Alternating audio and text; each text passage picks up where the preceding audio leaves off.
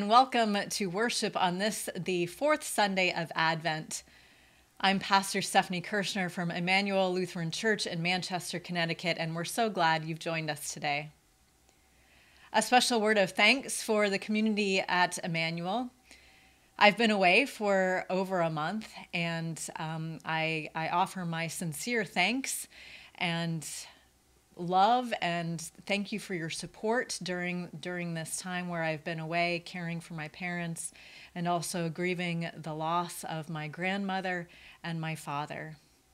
My family thanks you so much for your your continued work as I've been away, for your prayers, your understanding, for those of you who have put together the worship services over the past 3 weeks for, for the leadership. Thank you all so much for your continued prayers and presence and, and help and preaching the gospel to, to me and my family. Thank you so much.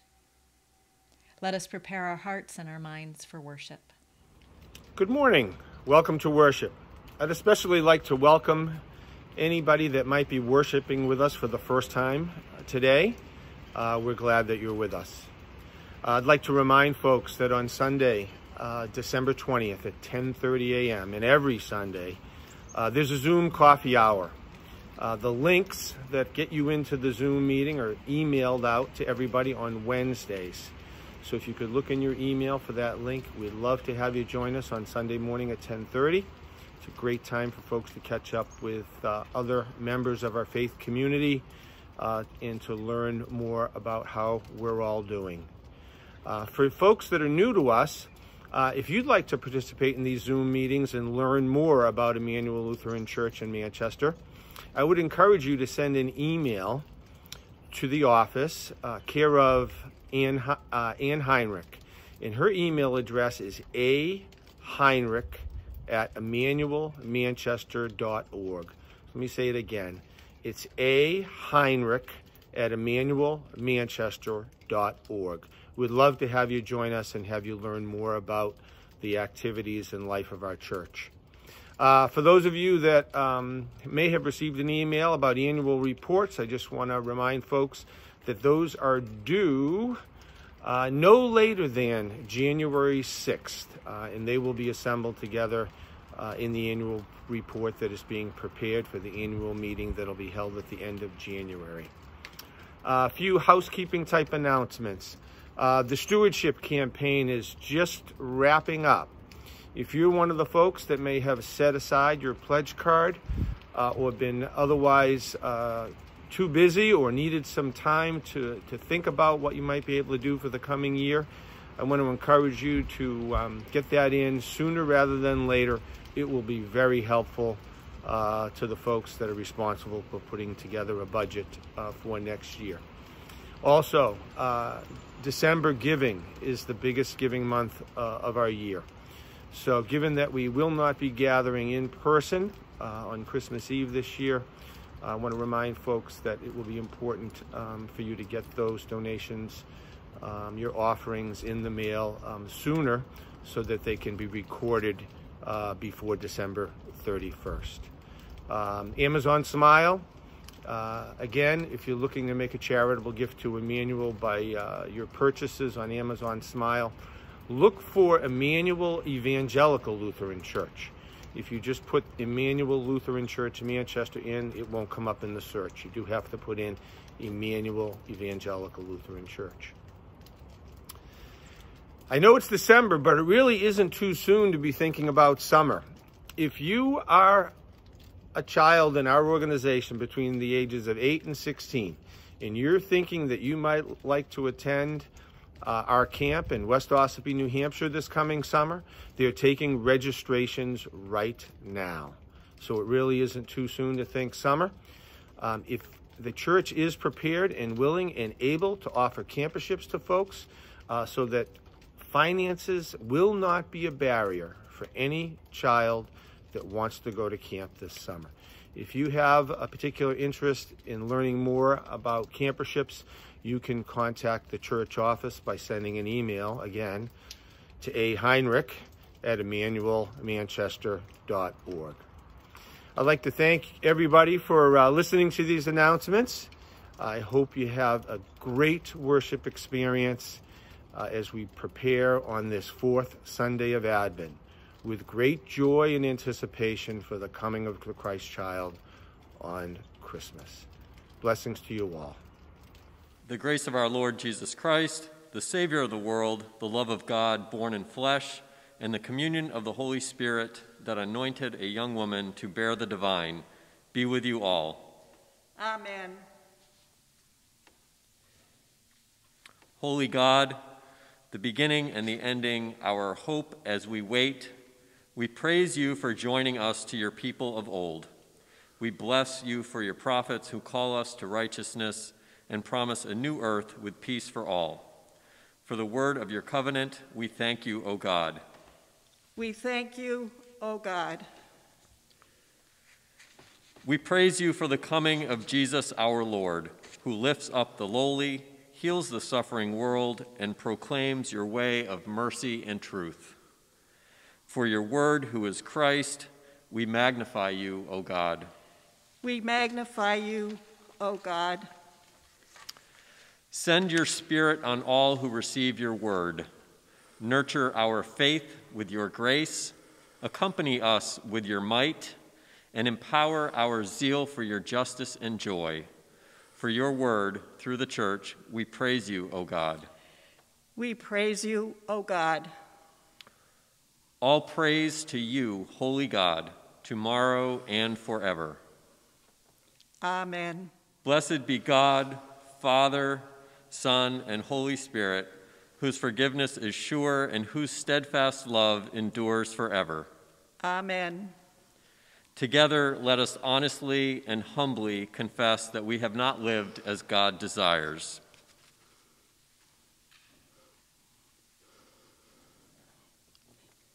Loving and forgiving God, we confess that we are held captive by sin.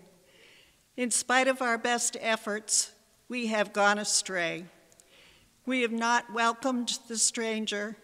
We have not loved our neighbor. We have not been Christ to one another. Restore us, O God. Wake us up and turn us from our sin. Renew us each day in the light of Christ. Amen. People of God, hear this glad news. By God's endless grace, your sins are forgiven, and you are free, free from all that holds you back, and free to live in the peaceable realm of God. May you be strengthened in God's love, comforted by Christ's peace, and accompanied with the power of the Holy Spirit.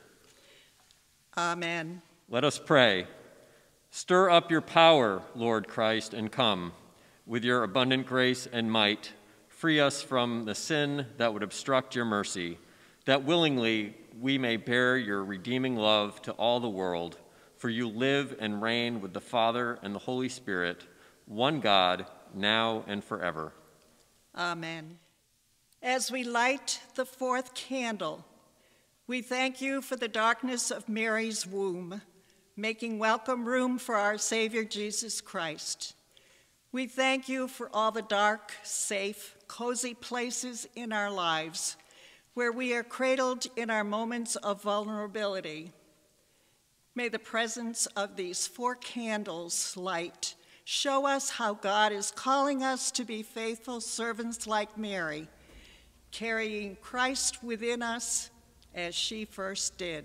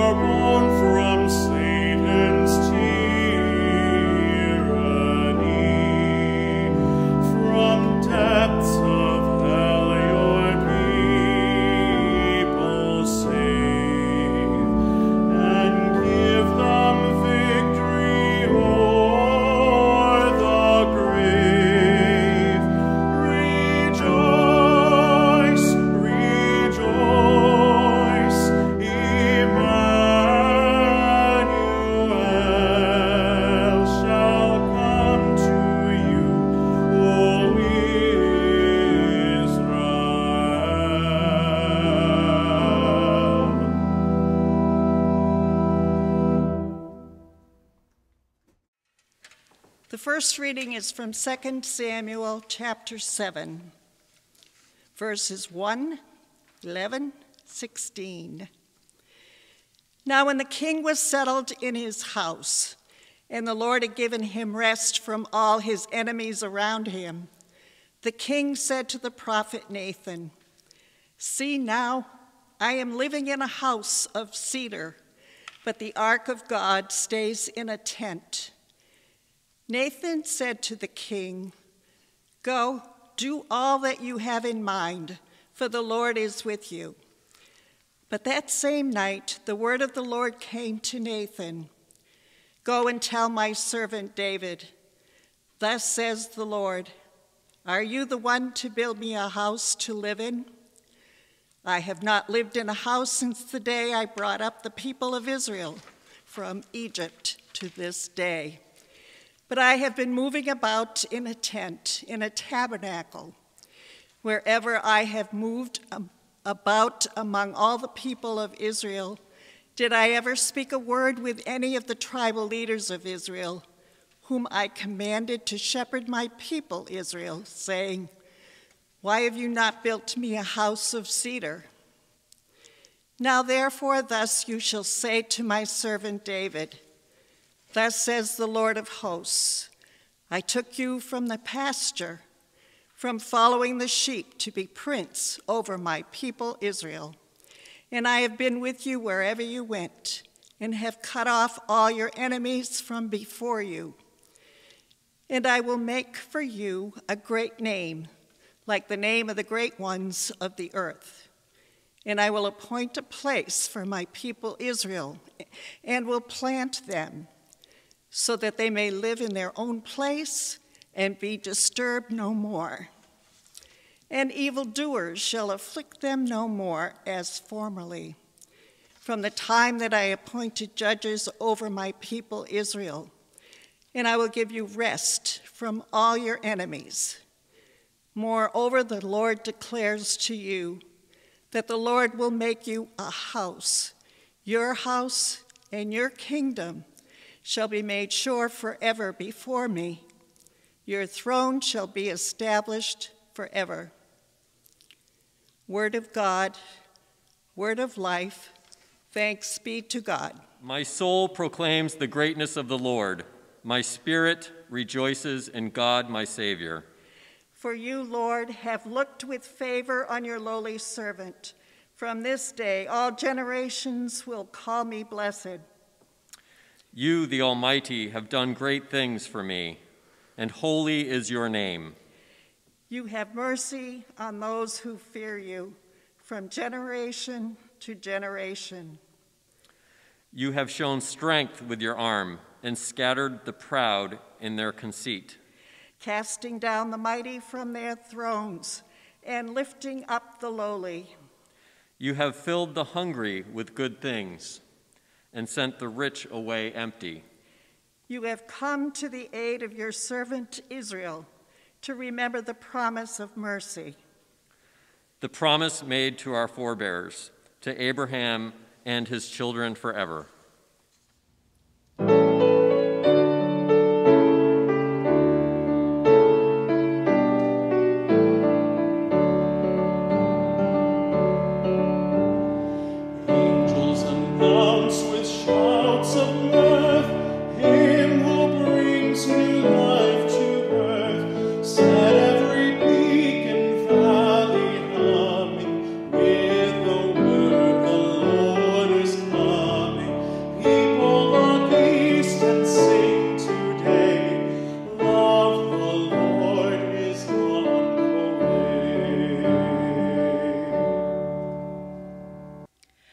Holy Gospel according to Luke.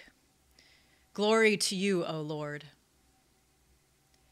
In the sixth month, the angel Gabriel was sent by God to a town in Galilee called Nazareth, to a virgin engaged to a man whose name was Joseph, of the house of David. The virgin's name was Mary. And he came to her and said, Greetings, favored one. The Lord is with you. But she was much perplexed by his words and pondered what sort of greeting this might be. The angel said to her, Do not be afraid, Mary, for you have found favor with God. And now you will conceive in your womb and bear a son, and you will name him Jesus. He will be great, and will be called the Son of the Most High, and the Lord God will give to him the throne of his ancestor David. He will reign over the house of Jacob forever, and of his kingdom there will be no end. Mary said to the angel, How can this be? since I am a virgin. The angel said to her, The Holy Spirit will come upon you, and the power of the Most High will overshadow you. Therefore, the child to be born will be holy. He will be called Son of God. And now your relative Elizabeth, in her old age, has also conceived a son, and this is the sixth month for her who was said to be barren. For nothing will be impossible with God. Then Mary said, Here am I, the servant of the Lord. Let it be with me according to your word. Then the angel departed from her. The Gospel of the Lord. Praise to you, O Christ. Have you ever thought about David and Mary being connected or sharing commonality in some way? David, a king of Israel, Mary, the woman who bears God's son. Historically, many years separate the two. And technically, they're not really related because Joseph is the descendant of King David, not Mary. But David is mentioned in the great birth story of Jesus that we will hear in a few nights. The text reads Joseph also went from the town of Nazareth in Galilee to Judea, to the city of David called Bethlehem, because he was descended from the house and family of David. And if you were to turn to the very beginning of Matthew's gospel, you can read that long family lineage of Jesus, which begins an account of the genealogy of Jesus the Messiah, the son of David, the son of Abraham. Maybe you remember a bit about David's life. He was the youngest son in the family and was a shepherd uh, as a young boy. He lived a fairly ordinary life until the prophet Samuel appeared and anointed him. Then David's life went from ordinary to extraordinary. He killed a giant Philistine man. He was named the successor of Saul, Israel's very first king. He rescued the Ark of the Covenant. But like all of God's beloved children, all of God's chosen and called children, David lived through trying times and sometimes made bad decisions. Towards the end of his life, David wanted to build a beautiful house for the Lord. That is what we heard in the first reading today. He wanted to see God's presence have somewhat of a permanent home somewhere, but he learned through the prophet Nathan that this was not part of his call. God did not desire or need a house. God's presence was not to be tethered to any one place or location or building. And David takes this news pretty pretty harshly. But God comforts David. God tells David that God will build David's house. Now the word used here in Hebrew is bayit, B A Y I T. And it means house, but it also means dynasty. God tells David that God is building a dynasty, an everlasting mark of David's faith, something that David will not get to see. But God promises that David's house will be built for God and by God. So, how does this connect to Mary? Well, perhaps you know Mary's story a little bit better. You probably remember that she is engaged to Joseph. Once they are married, Mary will move into the house of Joseph's family, the family of David. As she awaits her wedding day and her move, she goes about her ordinary everyday life. And then all of a sudden, that is interrupted, and Mary is visited by an angel, and she finds herself in an extraordinary situation. The angel tells her that God has found favor with her and that she will bear God's son. Now, the majority of us probably would not consider this to be much of a favorable circumstance, really. A teenage, unwed mother whose life is entirely turned upside down. Societal norms would see her as a pariah, a family burden. People would talk, certainly. She could be cast out of the community, she could be killed, and yet, the text tells us, God's Holy Scripture tells us that the Holy Spirit moves and assures her, and Mary says, Let it be with me according to your word. Ordinary to extraordinary. She is chosen to be the bearer of justice, of mercy, of divine love, of grace and peace. A life totally upended. And we know from the Gospels that from that moment on, where the angel comes to her and tells her this news, and the Holy Spirit moves, from that moment on, Mary's life is far from easy. But Mary goes to see her cousin Elizabeth, and she sings and she prays the liberating, gospel filled proclamation of the Magnificat. The child that she carries in her body will cast down the mighty and lift the lowly and fill the hungry with good things. Going back to that Hebrew word for house, bayit, it can also be said bet, although we would pronounce it Beth. B E T H, Beth. During the ad or during the end of Advent and into the Christmas season, we say this word quite frequently, Bethlehem. Lahem means bread. The dynasty God promises to David is fulfilled in the streets of the house of bread, Bethlehem. The Son of Mary, God's own Son, Jesus Himself, comes into the world in the house of bread, Bethlehem. And the relationship between the extraordinary and the ordinary continues to grow. Jesus, the bread of life, born in Bethlehem, the house of bread, nothing more ordinary than bread, nothing more extraordinary than the body of Christ. When thinking about these two formidable, faithful characters in God's great, expansive story, we are reminded that God doesn't need extraordinary.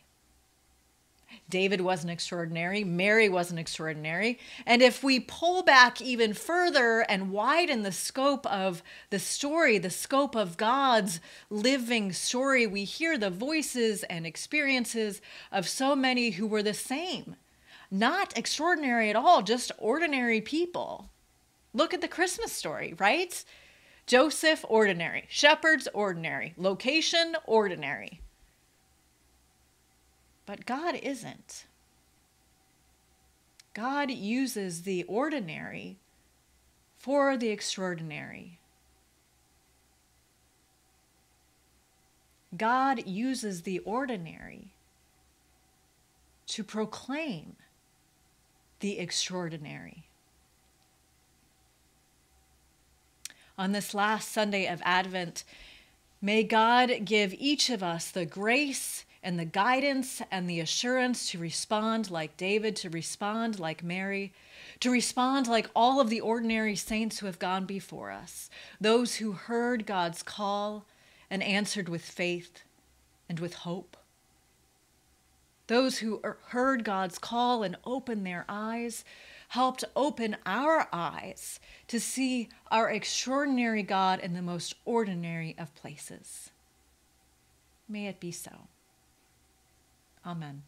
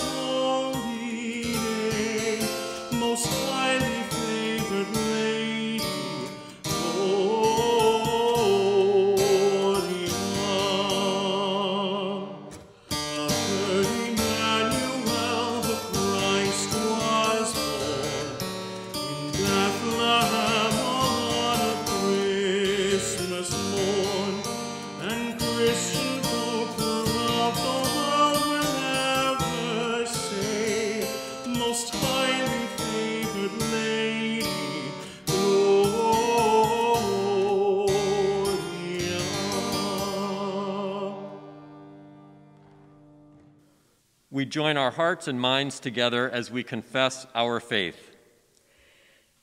I believe in God, the Father Almighty, creator of heaven and earth. I believe in Jesus Christ, God's only Son, our Lord, who was conceived by the Holy Spirit, born of the Virgin Mary, suffered under Pontius Pilate, was crucified, died, and was buried. He descended to the dead. On the third day, he rose again. He ascended into heaven. He is seated at the right hand of the Father, and he will come to judge the living and the dead. I believe in the Holy Spirit, the Holy Catholic Church, the communion of saints, the forgiveness of sins, the resurrection of the body, and the life everlasting. Amen. On this fourth Sunday of Advent, let us pray that God come quickly to this weary world, responding to each petition with the words, Come and save us soon. O God, Emmanuel, we pray, be with us. Bless our national church and our own congregation. Bless also our neighbors of other denominations and faiths, that strengthened by your presence, we may support one another in love and together serve those in need. Hear our prayer, O God. Come and save us soon.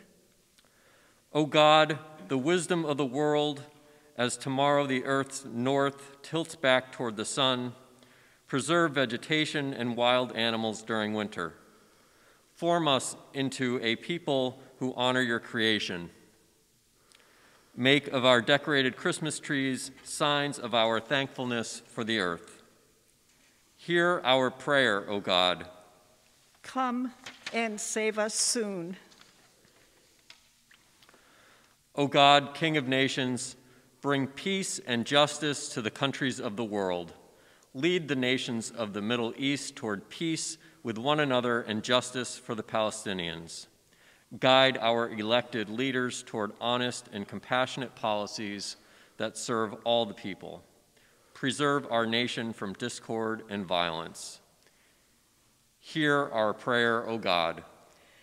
Come and save us soon. O God, Key of David, look with mercy on all who are locked into despair, who fear the darkness, who live brokenhearted. Open windows to those who are isolated. Abide with all who are incarcerated. Give shelter to the homeless and the refugees. Hear our prayer, O God. Come and save us soon. O God, root of Jesse, nurture our community, connect us with one another across all barriers, and bring an end to historic prejudices. Bless the work of food pantries and relief agencies, and inspire our holidays with your spirit of benevolence. Hear our prayer, O God. Come and save us soon. O God, ruler of might, send your healing power to all in bodily need. Curb the coronavirus and strengthen medical workers. For those with COVID 19, we pray. Guide all World Health Organizations and government officials in the distribution of the vaccines and calm the fears of those who are reluctant to receive the vaccine. Bring, bring pregnant women to successful births. We pray especially for those we name here before you at this time.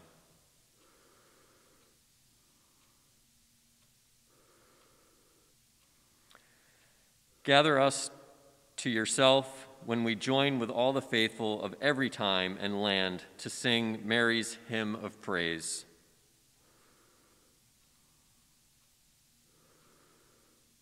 Hear our prayer, O God. Come and save us soon.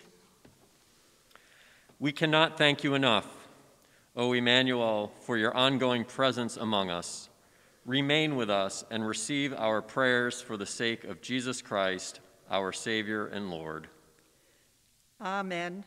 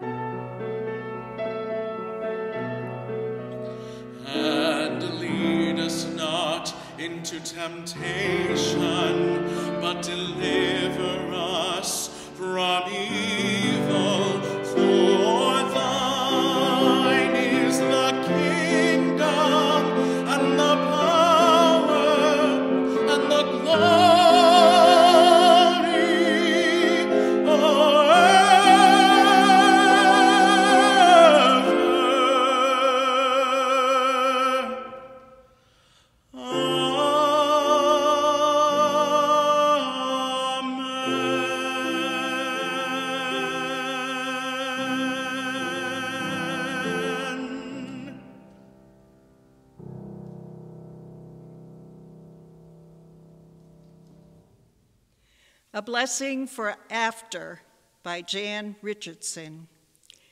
Here am I, the servant of the Lord. Let it be with me according to your word. Quoted from Luke, first chapter 38. This blessing is for the moment after clarity has come, after inspiration, after you have agreed to what seems impossible. This blessing is what follows after illumination departs and you realize there is no map for the path you have chosen, no one to serve as guide, nothing to do but gather up your gumption and set out. This blessing will go with you.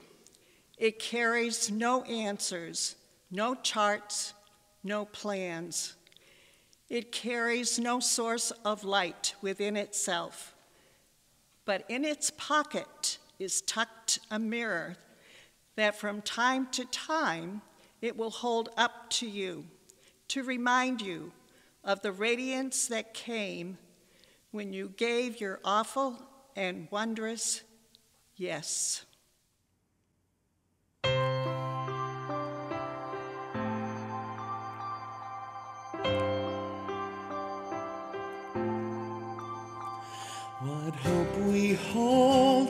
This starlit night, a king is born in Bethlehem.